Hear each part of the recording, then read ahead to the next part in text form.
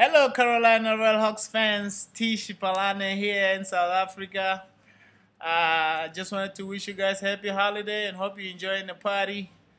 Uh, I wish I could be there right now enjoying the moment with you guys, but unfortunately, I'm all the way out here in South Africa on my vacation, trying to spend some time with family and friends and everybody else.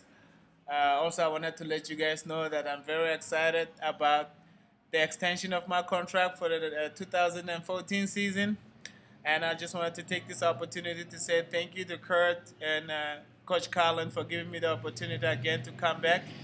I'm very excited about that. I hope to see uh, to see each and everybody out there for um, the spring season and the fall season, and uh, hopefully we'll do some big things this year and bring that championship back where it belongs, which is the town of Cary. Go RailHawks! See you guys next year. Happy holidays, everybody.